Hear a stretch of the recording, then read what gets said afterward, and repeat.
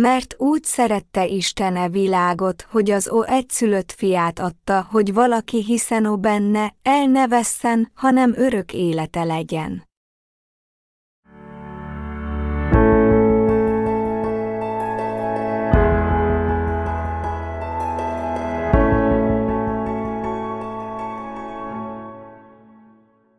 For God so loved the world, that he gave his only begotten Son, that whosoever believeth in him, should not perish, but have everlasting life.